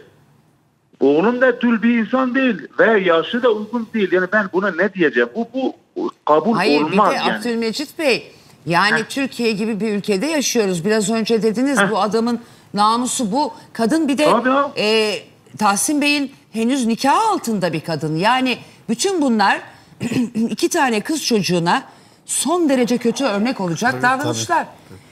Abla Babalarının özür nikah diliyorum. altında 20 yaş 20'lik bir sevgiliyle anne ya Helin Allah aşkına hep beraber dışarı çıktığınızda annenle e, oğlu gibi zaten yani 3 sen 18'sin o da 21. Yani o üçüncü bir çocuğu gibi el ele tutuşup böyle yürüdüklerinde komik gelmiyor mu sana Helin? Ablacığım bak ben özür diliyorum bir Helin'le aslında sesim Helin'e de gitsin. Yani bence Helin'e ne düşer biliyor musun? O kız çocuğudur ben saygı diyorum benim kızımdır. Başımın tacıdır. Herkesin namusu benim başımın tacıdır. Bence Helin kim Helin'in yerinde olsaydı zamanında diyerdi anne bu kötü bir örnektir. Sen beni de kullanıyorsun. Sen beni de kullanıyorsun. Madem beni de kullandın ben de en azından biz rezil olmayalım. Ben çantamı orada alıp çıkardım babamın yerinde. Ben diyordum en azından baba. Ha babam da eğer kötüyse sığınacak yerler vardır. Anladın mı? Şimdi Helin şu anda ben az önce sesini duydum. Yani sanki anneye destek veriyor. Şu anda ben sana bu şey destek verilecek bir olay yok. Yok yani yok. Bir dakika Helin'i bir dinleyelim. Evet Helin. Ya benimki de gerçekten, gerçekten desteğim falan yok. Hani hepsi aklı başında insanlar. Benim diyeceklerimi de Hiçbiri zaten- aklı başında değil Helin. Hiçbiri aklı başında değil. Ne annenin aklı başında, ne o 20'lik sevgilinin aklı başında. Onların akılları tamamen başlarından gitmiş. Sen orada 18 yaşında bir genç kız olarak annenin yanında durarak hem kardeşini riske atıyorsun hem bu ilişkiye onay veriyorsun. Eğer sen annesiz duramıyorsan annen de sizsiz duramamalı. Onun için kardeşini de alıp Babana mı, halana mı, devlete mi, nereyese gideceksin. Anne bizimle onun arasında bir seçim yap diyeceksin. Bakalım annen seçimi hangi yönde kullanıyor? O zaman anlayacaksın niyetini. Sen nikahlı, babanla nikahlıyken annenin bunu yaşıyor olmasını 18 yaşında pırıl pırıl bir genç kız olarak nasıl onaylar ve o evde kalarak buna onay verirsin? Birlikte giderken annenle onlar el ele yürürken komik bulmuyor musun? Ben dışarıdan baksam bir o- oğlu iki kızı olan utanmıyor musunuz? Sen de çocuk sayılırsın. Annen utanmıyor mu? Onun elinden tutup yürürken Selin. Diyorum sana sen 9 yaşında bir çocukla erkek çocuğuyla flört eder misin ya? Ne farkı var bundan? Ya ben cidden zaten böyle olaylar gördükten sonra herkesten soğuyorum böyle çok... Orada daha Ben de- fazla kalma. Ben- Kardeşini aldıracağız bak. Kardeşini sosyal Ben hizmetlere bakacağım onlara, aldıracağız. bakacağım. Bakacak kişilerim de var. Ben- Bakamıyorsan da Yok, halası ki. vardır, Var, bir şeyi var, var. vardır. Nenesi var, istiyor, isteyen her yapıyor. neyse. Ben Sen 18 arkalarındayım. yaşındasın, işine girersin, Ben, çalışırsın. ar- ben bakacağımı da biliyorum. Bilmesem bura- buralara gelmem zaten. Sen Olay git bakalım etmem. o evden. Kardeşini zaten sosyal e, hizmetlere aldırmaya şimdi hemen düğmeye basacağız. Orada çünkü olmaması gereken bir durum yaşanıyor. Gayrimeşru bir ilişki yaşanıyor. Nikahlı bir kadın oraya arıyor ben hamileyim diye 20 yaşındaki çocuğu ayağına çağırıyor. Bir sürü tanık var. 20 yaşında e, kocam askerde onu bekliyorum diye ev döşeyip dayayıp döşeyip her gün kocası e, gece vardiyasına gittiğinde o eve gelen bir kadın var. Ve bunun tanıkları var. Ispat- tabii ev sahibi var, Bunlar rezillik, rezillik, ayıp, ayıp. Ama sen 18 yaşında pırıl pırıl bir kız olarak annemden ayrılamıyorum. Böyle anneden bir süre ayrıl bakalım annenin Anne gerçek olmaz, yüzünü anne görmek için. Anlıyorum. Kardeşin de yuvaya gidecek. Bunu unutma yazık. Ya- Bu yüzden gidecek ama sizin yüzünüzden. Ya babası varken yurda gitmesi de biraz saçma olmaz mı babası? Hani gitmemesi varken- için benim yanımda olmaz Şey- o kızım. Kardeşinizi alıp babanızın yanına giderseniz e, bundan kurtulmuş olacaksınız yuva işinde. Helin diyor ki ben onaylamıyorum bu ilişkiyi. Yani Mehmet Ali ile annemin Ben arasındaki şunu ilişki olur. Ama sen Helin yani o evde kalarak zımnen buna onay veriyorsun. Ee, Anneni de güçlendiriyorsun. ben şunu sordum. Bu sefer annen aklı başında olmayan annen aa demek ki doğru diye düşünmeye başlıyor. Çocukların da kabullendi. Çocukların da kabul etti diyor. Ben Ama sen buna bu şekilde Helin. onay verme. o evden ayrıl. ben olsaydım. Anneni bir kadınla aldatsam Ha. dedim. Beni ne yapardın? Affetmem dedi kesin. Ki hak veriyorum doğru. Ona tebrik ederim. Alnından da öperim kızımı. Ama beni affetmeyeceğin gibi o tarafı affetmeyeceksin. Şimdi baban da 17 yaşında bir kızla e, kaçsaydı bir yerde yaşıyor olsaydı gidip onunla mı yaşayacaktın Helin? Yaşamayacaktın. Kardeşim diyorsun sosyal hizmetlere gitmesi saçma değil mi? Bence en saçma şey sizin şu anda babanızla nikahlı olan annenizin bu yaşadığı ilişkiye onay verir biçimde orada kalmanız ve 21 yaşında ve 17 yaş itibariyle de e, yazışmalar, çizişmelerle e, bu noktaya gelinmiş bir durum var ortada. Senin kardeşinin bulunduğu yan- yanlış yer aslında şu an bulunduğu yer. Ben babasının yanına olması lazım. Hem ben ya senin sen ya da et. devlet korumasında Beni olması et. lazım. Babam bakamıyor diye. Onun için yolları düşünün var. taşının e, bir de bu paralar gitmiş vesaireler adamın hem psikolojisi bozulmuş adam kötüyse zamanında boşayıp gitseydin kardeşim. Ne oldu 17 yaşında çocuğu bulunca mı aklına geldi adamın kötü olduğu? Peki efendim şimdi bir Asiye Hanım'a geçelim. Ee, Helin yarın buraya da gelebilirsin ayrıca babanın gözleri çünkü 18 yaşında Helin. Bence gelsin, evet Gel ya. babanın gözlerine bakarak bizim gözlerimize bakarak annenin öğütlediği ve söylemeni istediği şeylerle gelme bize. Gel buraya anında sana bir şeyler soralım. Annen de seni sürmesin öne e, kendisi söylesin ne söyleyecekse. Bunların hepsi e, öğretilmiş şeyler. E, bu da bir gerçek. Ayşe Hanım 4 senedir e, görmüyorsun daha doğrusu 4 senedir yüzünü görmüyorsun. 2 senedir sesini bile duymuyorsun. Evet. İki sene önce oğlum ameliyat olacağım ihtiyacım var sağlığımla ilgili bir 100 lira gönder dedin. Yok gönderemem dedi. Telefonu kapattı. Kapanış o kapanış. Evet. İki senedir ölüm dirimi haberin yok, Yok, oğlundan. kesinlikle Hanımcığım, yok. Peki senin konuna başlayalım o zaman. 53 yaşındaki Ayşe Karagöz 4 yıldır 31 yaşındaki oğlu Okan'a hasret. Gözü yaşlı anne her yerde oğlunu arıyor. Hiçbir haber alamadım. Telefonda dahil kendisini hiç görmedim dört yıldır. Neden annesiyle görüşmüyor? Oğlumdan para istedim tedaviye gitmek için. bana para gönderemediğinden dolayı e, üzüldü ve telefonlarını tamamen kapattı.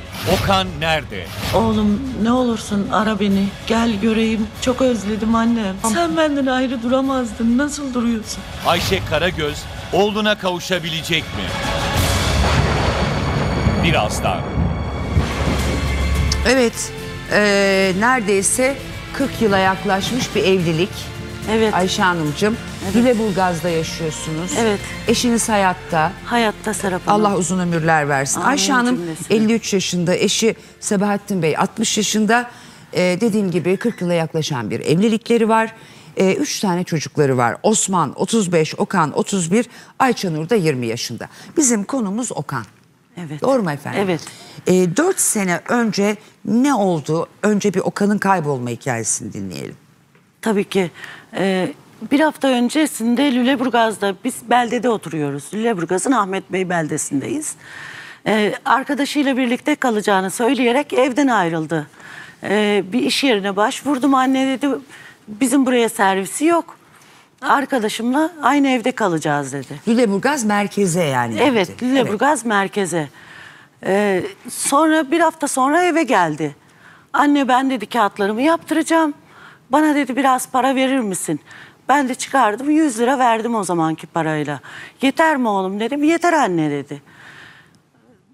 Gitti yani sarıldım ben ona. Gel oğlum sarılayım İşten dedi. bahsetti mi? Şöyle bir işe bu ba- giriyorum. Evet kağıt mendil fabrikası dedi bana.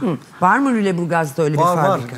Çorlu ile Lüleburgaz arası komple sanayi bölgesi. Evet, yani bu Yüzlerce Muratlı fabrika yolundaymış. görebilirsiniz o yolda. Öyle demişti bana. Muratlı yolunda, Muratlı Tekirdağ yolunda demişti Tamam. bana. Orada da bir yalan dolan yok. Olabilir. Doğru. Evet. Ben de inandım. Arabasıyla da kaza yapmıştı. Onu da yaptıracak. Arabası vardı. Ee, sanayiye vermişti arabayı da Lüleburgaz'da. Ertesi gün kız arkadaşı aradı beni. Ben de Mevlüt'e gitmeye hazırlanıyordum o sırada. Okan dedi arabayı bırakmış e, E5'te gidiyormuş dedi. Yolun ortasında. Evet yolun yani kaldırımın önünde Çekmiş. çekmiş, bırakmış orada. Üzerinde anahtar. Kapılar açık, anahtar da e, torpido gözündeymiş. Evet. Bırakmış gitmiş Bıraktığı arabayı. yön ne yöne doğru? Bıraktığında bırakmasaydı nereye giderdi? Vallahi ben gitmedim almaya, eşime de sormadım. Peki. Kızım binmişti, ona sorarım Onu akşama. sorarız tamam peki. Evet. Kızımı gönderdim. Lüleburgaz'da lisede okuyor kızım. Olayı öğrenince araba ortalıkta kalmış diye ben oğluma tabii çok yalvardım. Dön geri oğlum. Şeye de çok alındım dedi sonra görüşmelerimizde. Ben ona dedim ki arabayı getir sonra nereye istiyorsan git oğlum dedim. O- tamam benim orada yanlışım var ama ben şöyle düşünerek söyledim o lafı ona. Arabayı getirirse ben zaten onu bırakmam. Bir daha salmam bir yere. Ortak evin arabası yani. Baba Evin arabası benim üzerimeydi ama yani onun da parası var, bizim de paramız var. Ortaklaşa aldık bir araba. Bir eve bir araba lazım diye aldık yani. Onun için orada terk edip gitti yani. Buyurun alın arabanızı gibi hani. Yok yani o bıraktıktan sonra ben otobüste giderken konuşuyorum onunla. Ha, gel arabayı getir nereye gidersen git diyorum da dönsün geriye diye. Amacım o benim yani ben sorun araba değil yani burada. Ağzım kurudu çok. Bir su verebilir miyiz Ayşe Hanım'a? Su. Çok rahatsızlığım var o yüzden Öyle ilaç da kullandığım olsun. için. Aslında biliyor musunuz buna hiç dokunmadım. Hiç hiç içmedim. Buyurun. Teşekkür ederim. Evet. Evet. Yanınızda durabilir. Tamam. Durabilir. Ama dönmedi geriye. Ben de o gün Mevlüt'e gitmedim. Eltim'le konuştum. Eltim gelmişti Mevlüt'e. Ee, Okan'ın o bir hafta zarfında arkadaşında değil, Eltim'de olduğunu öğrendim. Yani, Yani amcasının amcasında. evinde kalmış.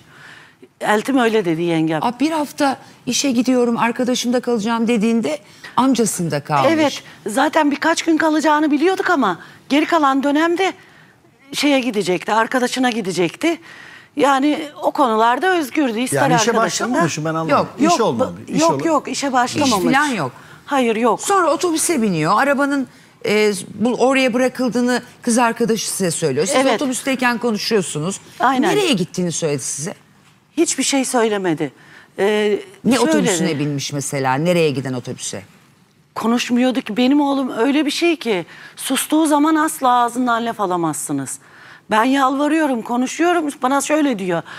Ölmek mi, gitmek mi? Arasında tercih yaptım ben gidiyorum anne.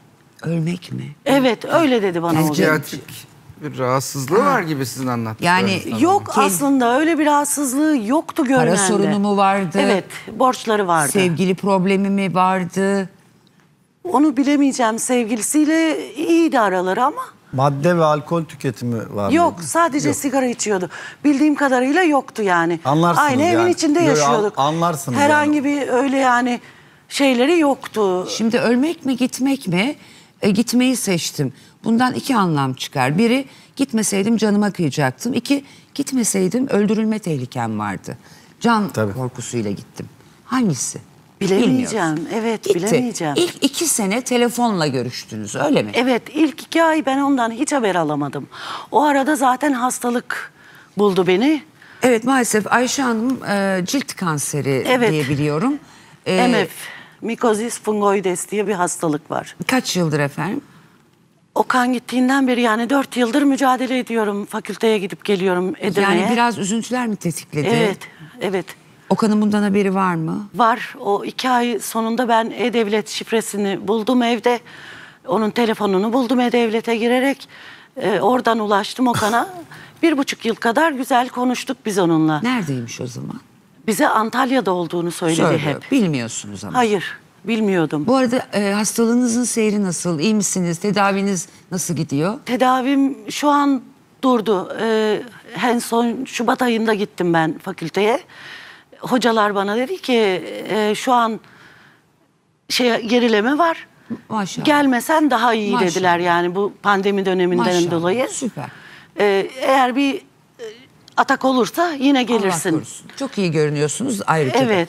Peki bir buçuk yıl içinde siz bunu da söylediniz. Bir Evet, rahatsızlığım evet, var. biliyor falan. yani. Ama Antalya'dayım diyor. Çalışıyorum mu diyor. Ne Evet diyor? ben diyor lokantada oğlum diyorum kış geliyor yani senin işin nasıl orada e, işsiz kalacaksın oteller kapanacak ben otelde çalışmıyorum ben lokantada çalışıyorum diyor bana. Görüntülü falan da mı aramadınız hiç? Yok kesinlikle yani Teknoloji buna kardeşimde ya. tabii kardeşimde resim attı var. mı mesela bu süreçte bir resim, video? Bizim e, aldığımız size verdiğimiz Ayşe fotoğraflar Hanım da sosyal medyadan.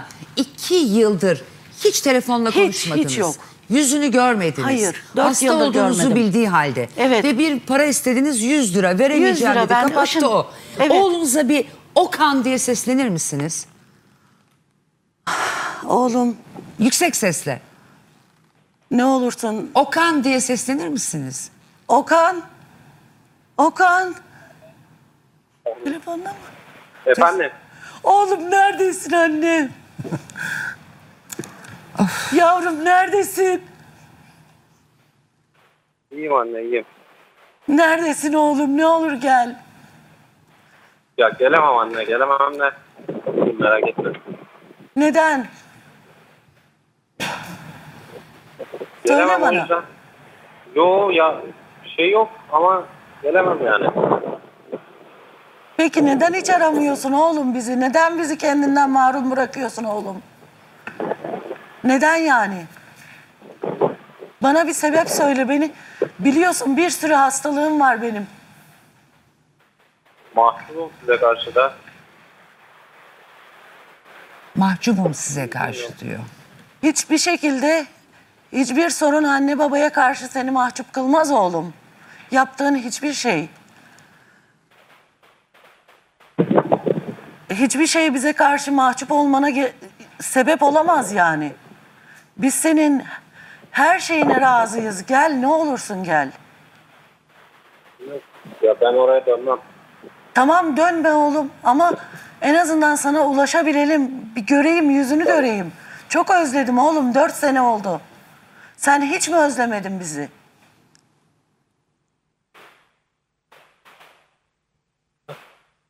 Şey numaran aynı mı? Benim numaram aynı hiç değişmedi. Tamam. Tamam. Okan Yazacağım anne- akşam yazacağım. annen senin yanına gelsin mi Okan? Okan buraya gelsin. E, Yani ben biraz bırakmak istedim anne oğul bir konuşsun diye. Yoksa e, ben de tabii bir anne olarak Okan'a hiç mahcup olacağın ne olabilir ki oğlum bu dünyada anne babadan daha önemli demek istiyorum ama biraz anne baba konuşsunlar diye. Buyurun hocam. De, Okan Bey belki hani o mikozis fungoides falan farklı isimlerden ne olduğunu anlamamış olabilirsiniz de anneniz lenfoma lenf kanseri.